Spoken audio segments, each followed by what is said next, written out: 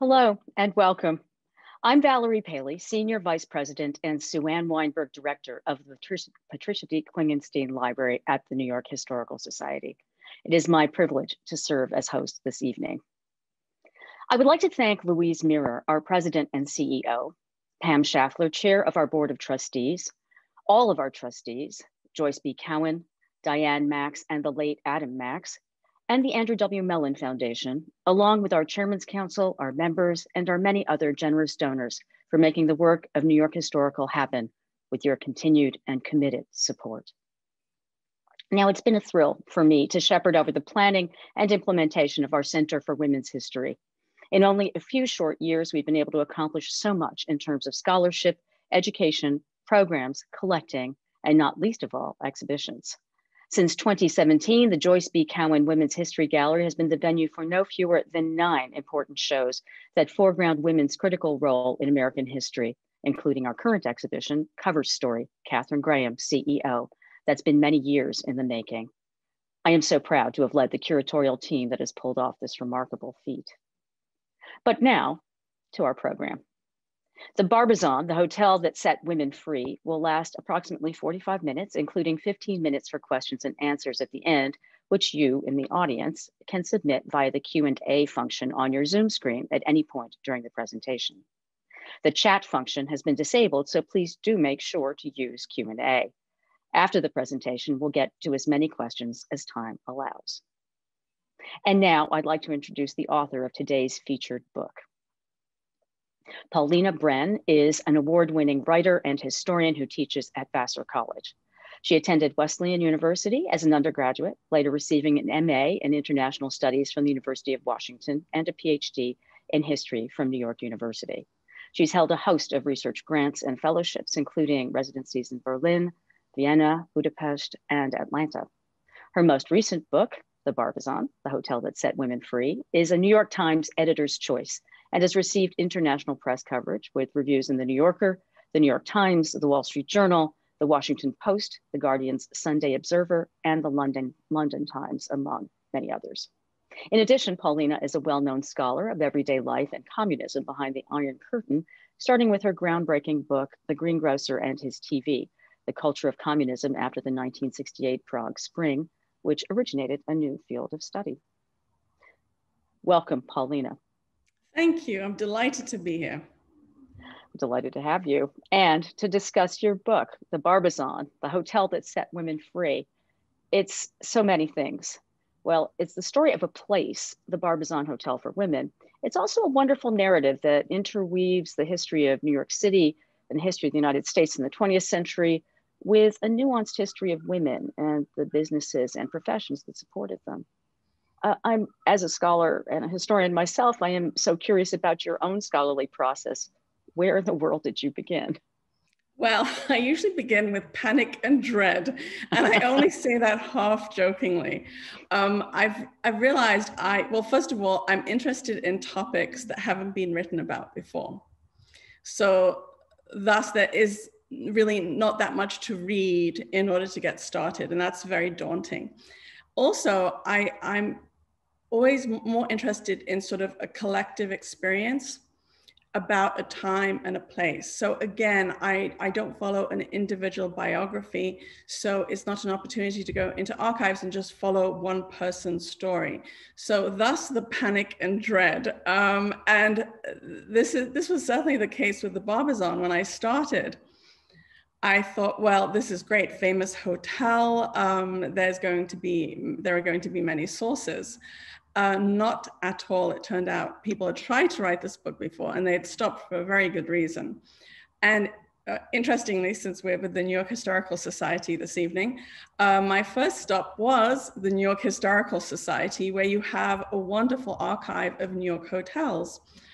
But for reasons that I can only speculate about, um, the folder on the Barbizon is very, very thin. There's, and it's, it's illustrative of the general sort of landscape of sources available for the Barbizon. So this was really about finding different avenues to get at the story of the Barbizon and literally sort of building it back up brick by brick.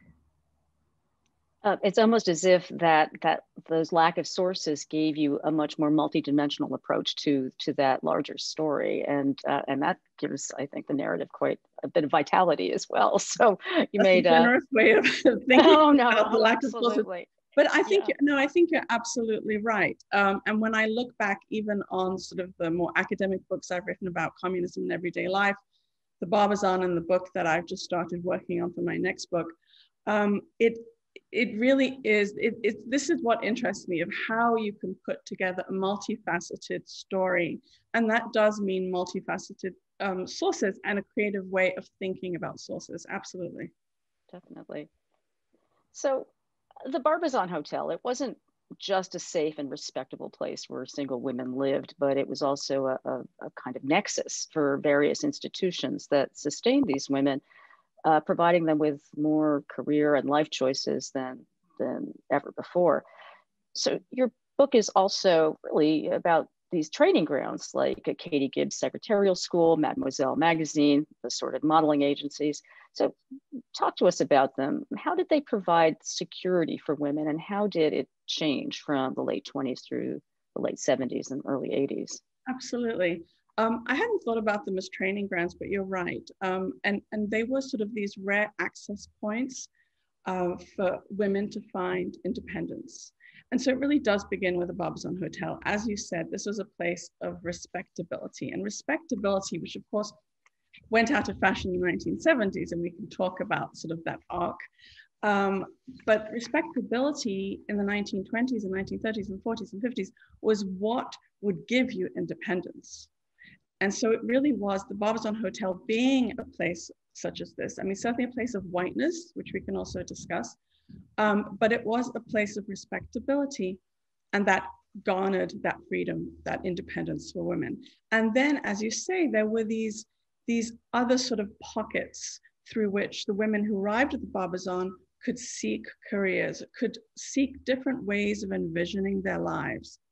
One of the ones was the Katie Gibbs Secretarial School. Now, back in the 1980s, I remember uh, the, the Gibbs School already seemed a sort of outdated idea, the idea that we train women as secretaries. And so it was fascinating to discover this rich history of Katharine Gibbs Secretarial School, which was really a phenomenon of the 20th century and became particularly important after um, the crash of 1929 and the Great Depression.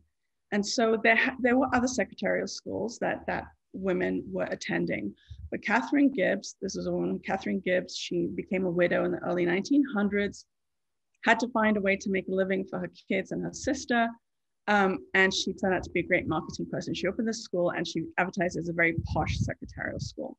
Well, when the when the Great Depression hit and, and the stock market fell, um, these women, these elite women from elite colleges with degrees in English literature, they suddenly needed to make a living. And Katharine Gibbs was the way to do it. So that was really important. Um, another important um, sort of avenue was modeling, which again, we might think, oh, grown. Um, but that's exactly the point that with the Great Depression, um, women who were working were seen as pariahs. They were taking men uh, jobs away from men.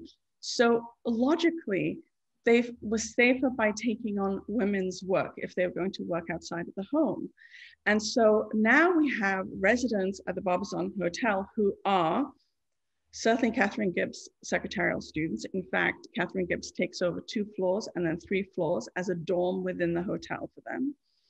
But the Powers Modeling Agency, the first modeling agency, and he brings in uh, women, young women from, from to a large extent from the Midwest.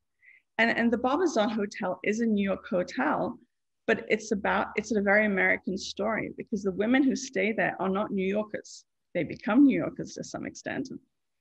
Um, but they are from small town America. And Powers Modeling Agency also sort of caters to this sort of, th these are their models and the look that they're going for, sort of all American blonde and so forth. And they stay they also stay at the Barbizon. This segues into the 40s and 50s where Eileen Ford becomes the big agency, being a female run agency.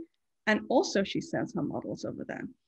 And then a really interesting um, sort of connection for me while I was doing research, a real entry point for me as a scholar, and also an entry point to the Barbizon for women was Mademoiselle magazine, which again, in the 80s, I remember Mademoiselle magazine um, as sort of a really not very good uh, sort of teen fashion magazine. But again, it has this remarkable history. It was, um, it started in the mid 1930s, run by a woman. Um, it was known as the Bible for every college girl because this is where you learn not only what to wear and what to talk about, but what to read. It ran some of the most incredible. Truman Capote's first story was in Mademoiselle magazine. And in the early 1940s, uh, Mademoiselle magazine started this guest editor program. And it was a way basically to bring in the creme de la creme of, of, of young women across America who want to be writers, artists, and so forth, bring them in for June and have them stay at the Barbizon. So this, you know, there were all these different, exactly as you say, these training grounds, these different um, sort of organizations and that that in many ways were doing what the Barbizon was was also trying to do and also sort of but caught up with the complexity of of course being very feminized places feminized occupations and so forth. So it was it was complex um, but fascinating stories behind all of these entry points. So it seems these, the women were testing out professional identities, uh, which were uh, brand new in, in, many ways, and the Barbizon was was that nexus. Uh, but we call these women the new woman, and uh, she certainly evolves uh, throughout the decades uh, of your story. Tell us tell us a bit about how that happens from the 20s till the 70s, 80s. Absolutely. Um, this was this was really fascinating to me too. Um, because by looking at the hotel and looking at New York uh, through the course of the 20th century, we sort of get a different sense of, of this new woman, right, of, of the modern era. Um, so in the 1920s, when this hotel, when the Barbizon was built, it opened its doors in 1928. And the thing is that it was not the only women's hotel being built at this time um, there was a whole spate of them in the 1920s because suddenly women were liberated through World War One. They were actually liberated through the, the, pandemic of the 1920s, the Spanish flu, um, in many ways. Um, and they were coming to New York to, to now try out these new lives that they were being allowed to live. And they didn't want to stay in boarding houses. They were considered old fashioned, musty, sort of revolting. And also, they were they were often connected with religious organizations. And these were modern women who wanted to live modern lives. Um, and these hotels, these residential hotels, which were all about sort of an opulent exterior and opulent interior in terms of common rooms, but with small actual bedrooms. Um, so these had been around for a few decades, a couple decades for men, and women wanted the same. And the same developers, they saw a new consumer. And so they started to build these. And in fact, these hotels were booked solid before they were built. That was how huge the demand was for them. And one of the key things was that they would have no kitchens. Now, they didn't have kitchens because of a law that actually made it easier to build these places. But the Barbizon marketed the notion of not having a kitchen as fundamental to its identity and to the identity of the women who were coming, which was that if you did not have to cook, meaning you also did not have to take care of a household, then you could live the life that you wanted to. And I think there's a lot of truth to that. Um, and but at the same time, when it was when it opened its doors in 1928, it it had suddenly this modern twist, this feminist twist, without realizing maybe so much it was a feminist twist though I think to some extent. Um, but certainly it had this veneer of being a very elite place. What happened then, because the crash happened a year after it opened its doors, the Barbizon continued to advertise itself as a place that was that was a safe haven for sort of elite, respectable um, young women on the go. Um, society young women to a certain extent. It continued to advertise that way, but it actually pivoted, and that's why it survived. It pivoted, and that was what was so interesting is looking at the women who stayed there, the socioeconomic diversity. As I say, we can talk about racial diversity, but certainly that did not happen until uh, the 1950s, I discovered. Um, but the socioeconomic economic diversity happened very quickly. Um, and that's one of the fascinating things to me, how the women ranged from, from debutantes to really women who'd run away from home in rural Ohio. And they were living next door to each other now. And that in itself, I think, is, is, is very interesting. Um, and then um, the 1940s, um, in terms of this new woman, as I say, really when these guest editors started to come in, um, it, it certainly also impacted in terms of sort of its intellectual cachet and its place in New York, in a sort of a New York intellectual society. And then the 1950s, this new woman, particularly fascinating because this is the decade where um, the, the Barbizon is nicknamed the doll's house because of all these models. I mean, this is when Grace Kelly is here, eh, eh, Sylvia Plath and so forth. Many actresses in the late 1940s, early 1950s are at the Barbizon. Um, but they are, they, yes, it's a doll's house. It's, eh, the, the Barbizon is now a place where it's famous because these beautiful young women that men hang around, Salinger hangs around at the coffee shop trying to pick up women, pretending he's a Canadian hockey player. Um, I mean, there is all of this, absolutely. But it's so interesting when you dig into sort of the, the young lives of these later famous women, the kind of conflict they feel, the way that sexuality plays into this era. It's, it's, it's fascinating. So the new woman really has many phases throughout the hotel's history particularly when, when one considers, uh, say, Ladies Mile in, in, in New York City in the 19th century, this was empowering for women because they could actually be out and about by themselves. I mean, just as the precursor to the New Woman was a woman who couldn't even go out unchaperoned. so it's just, it's, it's groundbreaking. In yeah, fact. And absolutely. The, and I think place, yeah. I'm sorry. Yeah, and absolutely. And I think you're, you're right to point to that. And I think we forget that. And um, Plath in her um, letters sort of in, in her letters home while she was at the Barbizon in June 1953, she lamented quite a bit um, about how she hadn't found a date, a boyfriend. Part of it was she was boy crazy, but but honestly, another part of it was that, um, as you're saying, even though things had had um, progressed, you as a young woman in the 1950s, you were privy to a very different New York if you had a date next to you. You could go to places with a young man as an escort that you couldn't go to by yourself or with your girlfriends. Mm-hmm. So Plath's lament was also really grounded in, in experiential facts. Indeed, uh, indeed, and uh, this sort of leads to my my next question. Uh, uh, there, there are a few types that we see in your book from, from, as you say, the homegrown beauty queen to the ambitious girl seeking independence, adventure in New York City. But, but I'm most fascinated by the highly educated women of the Seven Sisters and other colleges.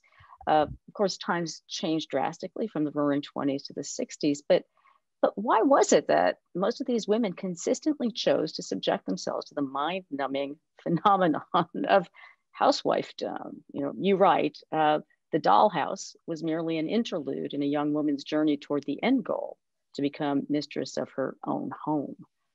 Why go to college if that's what your aspirations are? Yes, um, absolutely. Um, and this was very much the 1950s. This was the dollhouse era. Um, why? Well, I think sort of a basic answer, of course, would be societal pressure and social pressure. They're not exactly the same. Has always and continues to more directly um, affect women than men. Uh, we can talk about the toxicity of masculinity that men, you know, it's difficult. Men are not allowed to cry, not allowed to feel. It's damaging. It's all true. But the social pressures that women um, encounter are often lead to a lack of access, therefore.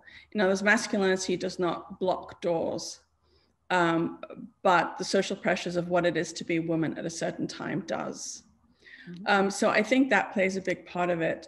Um, and it, it, it is interesting because, in fact, um, because of this housewifedom that reigned supreme in the 1950s, um, there, there was a whole series of presidents of women's colleges, particularly, who had to make speeches trying to explain and justify why women even needed to have an education if they weren't going to use it. I mean, it actually became sort of a national crisis of why are we sending these women to college? So the, the convoluted argument became, well, because an educated woman can educate her own children.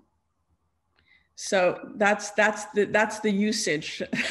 but that's that's like Republican motherhood from the the eighteen uh, the eighteenth century, which yeah, is uh, exactly. not too much progress when you exactly. no, it was, it was it was shocking, and also, of course, what plays into this, of course, is not is not only the consumer prosperity of the post-war era, which of course allows men to patriarchal structures to say, oh, you, we can afford it. You can, you don't have to work, right? So there is that. But also the Cold War. Um, we should not underestimate that women who were single, who were working, um, during the Cold War was seen as suspicious. That played into it too. Um, it was interesting to read, uh, looking at the Red, sort of the phenomenon of the Red Scare, and and how, for example, Mademoiselle magazine, which was a hotbed of liberal women, except for the for the editor in chief, she was a conservative Republican, but um, it was a hotbed of liberal women, all just working among other women. So all these women places were particularly targeted, and women were seen as very vulnerable to the propaganda of the Cold War. And and of course, and, and it being the 1950s, I will again return to the question of, of sex and sexuality, um, where in terms of this, this the, the pressures, I mean, Plath Plath's diaries are all about sort of her sexual desire and her anger over not being able to not being allowed to express it and that men could do whatever they wanted to. They did not have to rein in their desires. And what was really interesting to me when when i was doing the research i found that in 1953 in june when uh, sylvia plath was at, at the barbizon and at mademoiselle in new york um, that was the same month that the Kinsey report on female sexuality came out. And uh, Sylvia Plath and her cohorts, which included the novelist Diane Johnson, the author of Le Divorce and those other wonderful novels, and also Janet Burroway, another writer. So they were all called in one afternoon and they, was, they were told, well, we're thinking of publishing a report about the Kinsey report we're all going to give you a copy of that right now. You have to go to your corners. You mustn't speak to each other and you have to write what you think about it. And some of the women were very honest. They said, well, you know, it's, it's all about the orgasm and yet nobody explains it to us. And others, you know, they were being really quite, quite specific and, and very, very vulnerable in their answers. And Plath, who was always talking about this in her diaries, had the most sort of expressionless response to the Kinsey report. And I really think that in many ways she is so sim, sort of symbolic of the 1950s because of, of she she hated the fact that she was giving in to the social pressure and yet she couldn't help herself. And it was tearing her apart, and you can see that.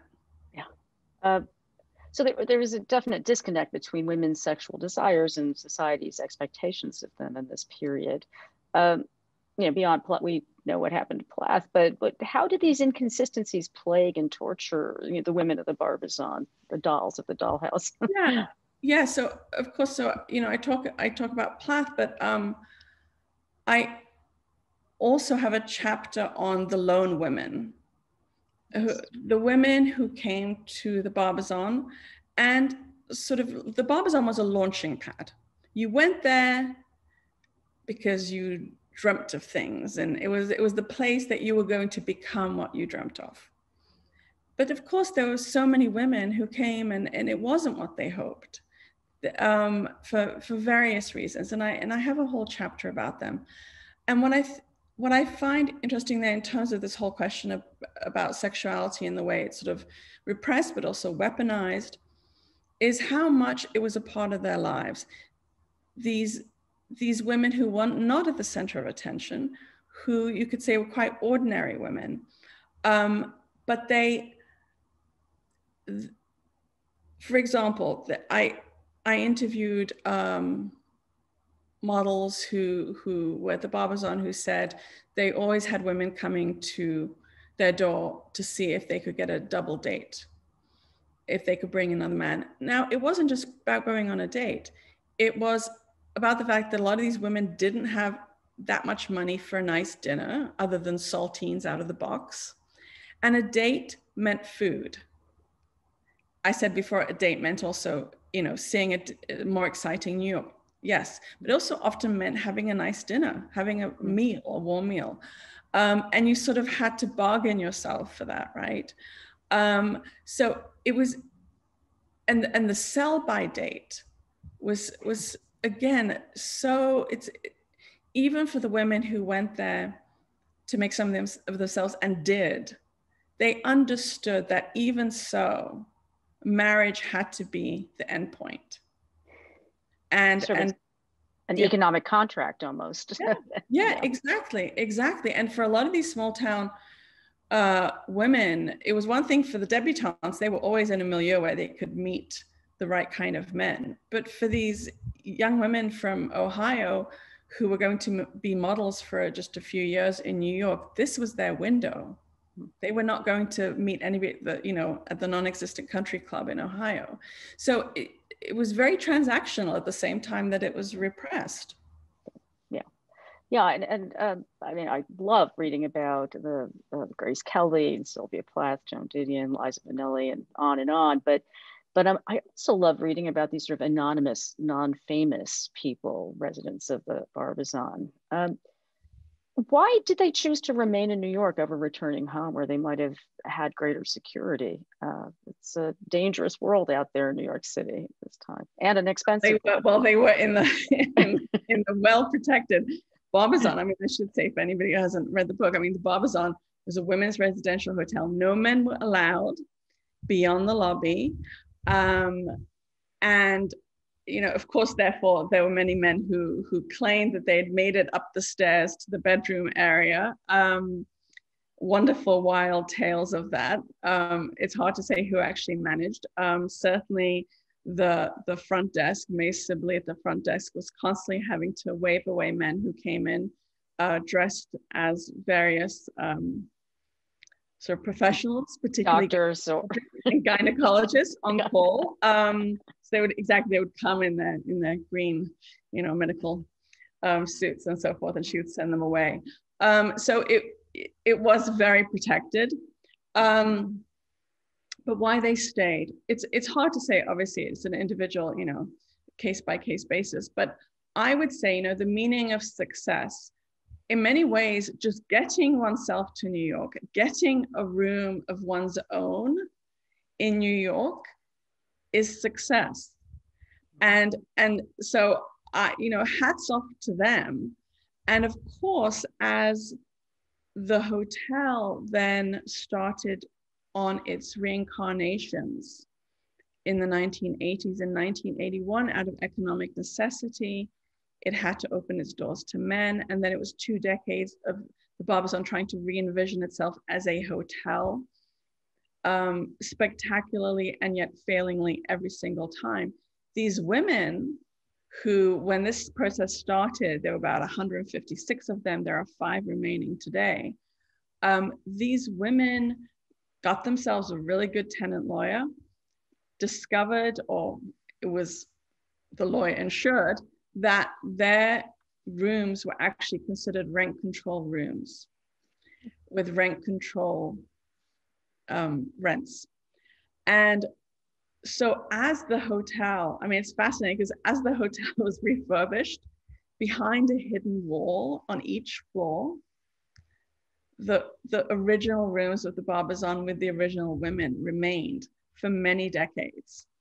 And when it was finally turned into condo, luxury condo uh, luxury condo building in, in uh, the early 2000s or 2005, um, they completely, the, I mean, the hotel is completely regutted inside. It, it has no resemblance to what it looked like before it turned into enormous luxury apartments.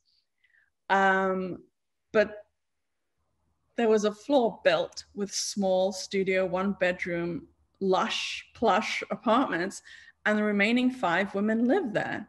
So, you know, how do we judge success? I think in terms of a New York story, which New York stories are about real estate in so many ways. Um, I they they ended up, in my book, being a success. You know. It's funny. Uh, only in New York City, though, right? Could you live in an SRO and and that's success? And they get daily maid service still because that was the oh. original contract with the Barbizon. That was great. um, too bad. Too bad. I can't get a room there. Um, no, tell me about it. Actually, that that does segue into our first question of the evening, and and it's a simple one. Where where exactly was the Barbizon located?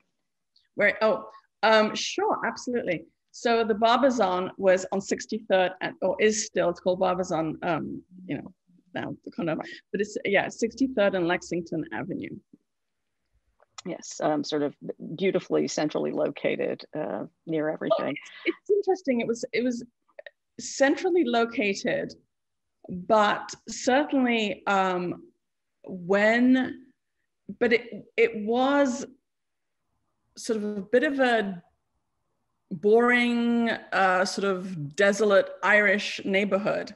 Mm-hmm. And what really changed things up was uh, Malachy McCourt, um, the brother of, of the famous Frank McCourt of Angela's Ashes, who himself is a wonderful writer um, and an amazing raconteur. He's just, he's, he's remarkable. And he opened a bar um, called Malachy's, two blocks away from the Barbizon.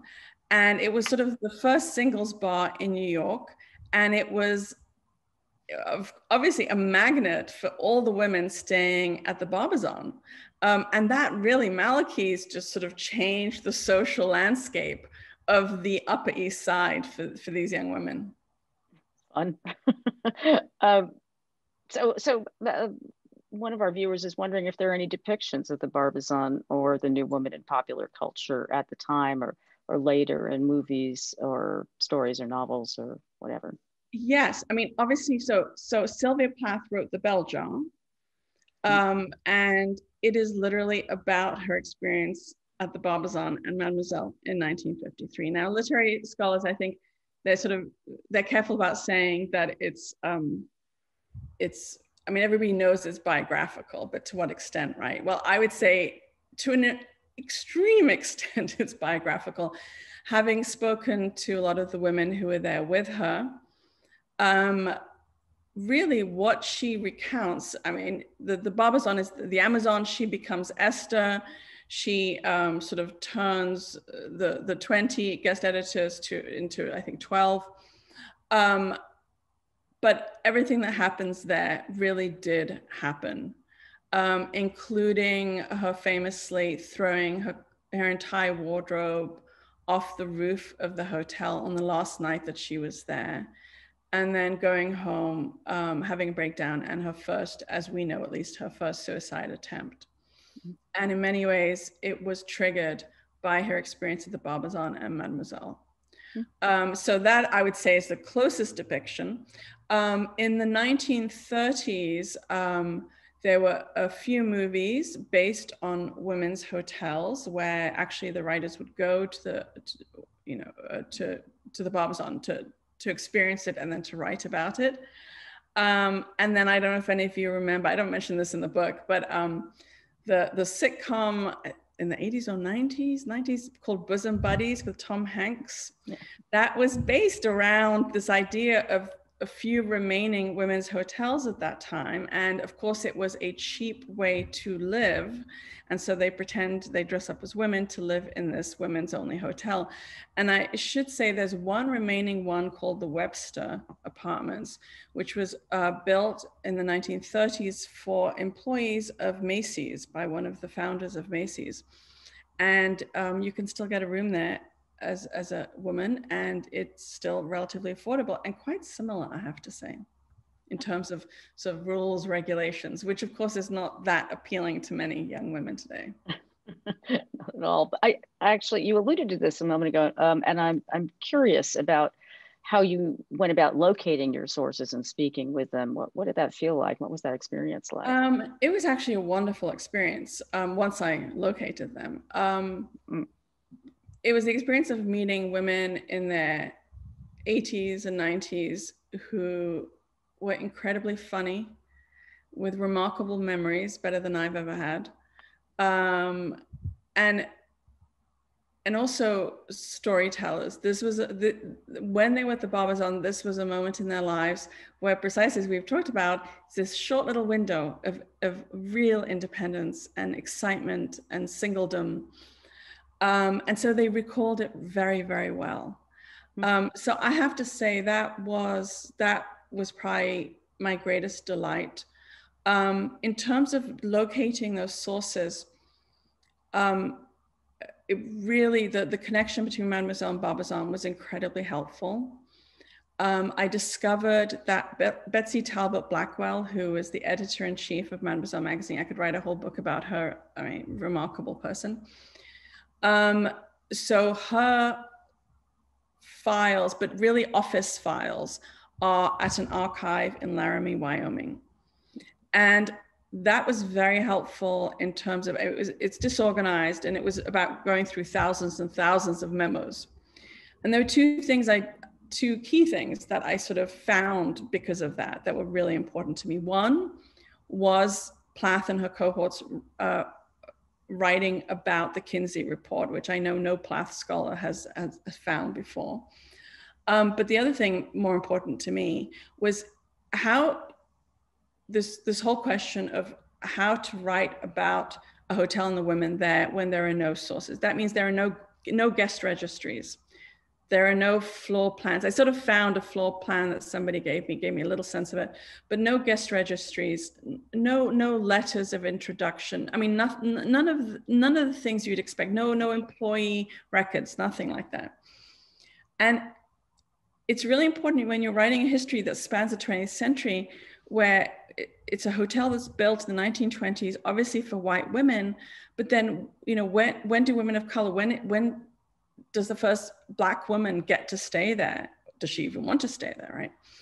Um, so that was really important to answer. And I was so happy about this that going through these memos, um, I found this um, really sort of animated um, back and forth conversation through memo, office memos at Mademoiselle in 1956 about a woman that they wanted to pick um, for the guest editor program that summer. She was by far the best artist. She was an amazing student. She was attractive. The only problem was she was black. And they were going back and forth. The business side of Mademoiselle, Mademoiselle was furious. And they were saying, why do you, all you editors, you have to keep doing everything for first? Like you need to be first in everything. We don't need this. We're going to lose customers. We're going to lose readers. We're going to lose everybody. And actually, the, the very conservative Betsy Talbot Blackwell said, no, no, that's it, she's coming. And the big question was, will the Barbizon even let her in? Well, they let her in. I spoke with her. She's amazing. She became a famous um, artist and writer, Barbara Chase-Riboud. Um, and and so through that i was able to sort of find something. It doesn't mean that there was a floodgate you know of diversity at the barbizon after 1956 but it allows me to tell a fuller story. So this was i mean that was that was a godsend that i found those memos and found that particular conversation. Yeah absolutely. Uh, and in an unexpected place as well, I would think. You know. That's kind of usually the way it works, I find. Yeah, that's that process of discovery is so exciting. Um, Uh, but talk a little bit more about how you mentioned that the whiteness is a, critical dynamic uh, at the Barbizon. Um, uh, you know, apart from this one story you just told us, how does that, it doesn't open up the floodgates, but how do things start shifting from a racial perspective? Yeah, um, I mean, I think also with the, with, I should say with the Great Depression, you know, in, I talk about at the start of the book, I talk about flappers, um, the unsinkable Molly Brown, survivor of the Titanic, is sort of the first famous um, resident at the very beginning. And she's on in her years and she dies at the Barbizon, uh, but she's surrounded by flappers whom she hates, even though she does relate to them in many ways. Well, when we're talking about the flappers, I mean, Black women were flappers as well in the 1920s. Um, but in the same way that, that all these ambitious uh, women's sort of plans took a nosedive with the Great Depression, even more so in the case of Black women. I talk about that in the book. Um, so that takes place. Now, as I say, the entry of Barbara Chase-Riboud, who's not told where the swimming pool is, but she's let in and she had, she felt, I mean, it's also a personality, but she felt she was absolutely fine at the Barbizon while she was there. Um, and then one of the delights of writing this book is the sort of the, the mail, the fan mail and the, the emails I've, I've received. And early on, I received a really interesting one, and it was is one of those where you're like, where were you when I was writing this? Um, but I knew that was going to happen. Um, and a woman wrote who's actually friends with Barbara Chase, and she lived at the hotel from about 1970 to 1972, so quite a bit later. And she said that that what I sort of write about in the book um, in terms of how Barbara Chase, you know, fits in even as society maybe says she doesn't, is she has a particular sort of attitude. Um, and, and her friend, who's also a black woman, said, who was there for two years in the early 70s, and said this was absolutely true. I mean, yes, you had, of course, racism all around you, but she, she felt comfortable at the Barbizon because she had a particular point of view about herself as a woman. And that, she said, made her fit in, made her feel comfortable at the Barbizon. So obviously, you know, these questions are complex. And, and in my chapter on lone women, there are these white women who felt incredibly uncomfortable there. Um, so it's hard to say, but certainly it was the Barbizon was a white institution, had obviously been set up as one, uh, being built in the 1920s, but then was, of course, in New York, which itself was changing. So the question is, how does it go? And I think there's added complexity in that sort of who was in and who was out at the Barbizon, sort of cut beyond just socio socioeconomics and race. Absolutely. And um, that uh, sort of segues into this kind of trick question, which we just received. Can you describe the culture of the hotel? Um, there were there were, as I say, many levels um, of that culture, and the coffee shop was a place to sort of see that culture take place. And you know, there's an element of the high school cafeteria. I have I have to I have to think. Um, right where there there were the young beautiful women just running in on their you know clippy cloppy heels and and um and they were off to their rehearsals on their broadway shows and to their photo shoots um, and life was just wonderful um, then there were the women who were sort of on the outskirts of the coffee shop um, not in groups by themselves reading um, sort of wondering what they're going to do. I mean, the culture was, in that sense, social culture was very mixed. But I'd say, in terms of culture, what, it was a culture of female ambition. And this is this is the thing that's been really interesting to me that that I'd say this book is a history of female ambition. And what I what I learned is that it does not run on the same parallel track with the history of women's rights. Women were and always will be ambitious, regardless of their access and their rights to be so. And so there are ways of trying to circumvent that. Doesn't mean you're going to succeed. But it's a history of women trying to circumvent the restrictions that allow them to build on their ambition. Um, and that cuts across all sorts of, um, as I say, um, other other lines of, of experience. Um, that really, the ambition is is central to the type of women who come to New York, and and I at this time to this place. And I have to say, I've been asked, do you wish a place like this existed? And I think it's difficult to imagine a place like this existing for a variety of reasons, which I could go into, but I won't. But I do think it's tremendous loss that there isn't a place that somebody who is not from New York, who doesn't know a soul, especially for a woman who is always vulnerable in a city, um, that there was a place that was affordable where they could get a room. Um, and that I think is important. That is something I think can only add to the larger culture of a city.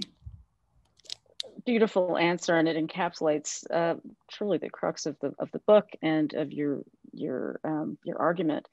But uh, beyond all of the wonderful research and uh, and stories is some wonderful writing. And I was wondering if you would be so kind as to read us a passage from the book. I'll take this. oh, goody. That's very handy. it's right behind me. Absolutely. Um, let me see. I'll just I'll just read the first two pages of the introduction, I guess. So, who was the woman who stayed at New York's famous Barbizon Hotel? She could be from anywhere, just as likely from small town America as from across the George Washington Bridge. But more often than not, she arrived in a yellow checker cab because she didn't yet know how to use the New York subway. Excuse me. she had the address on a piece of paper in her hand and she carefully read it aloud to the taxi driver. The Barbizon Hotel, 140 East 63rd Street. But in all likelihood, the taxi driver knew where she was going even before she spoke. Perhaps he noticed how she timidly waved down his cab, or how she tightly held onto the handle of her brown suitcase, or how she wore her best clothes, this out of town girl newly arrived in Manhattan.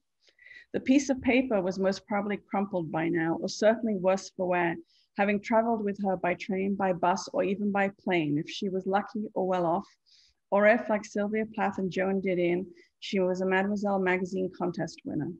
The rush of excitement when this young woman walked through the front doors of the Barbizon would be impossible to replicate later in life because of what it meant in that moment.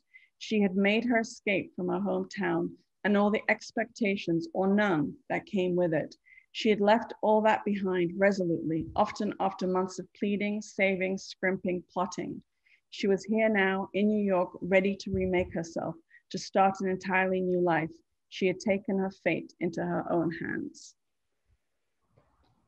beautiful writing, beautiful narrative, a wonderful conversation, but unfortunately we've run out of time.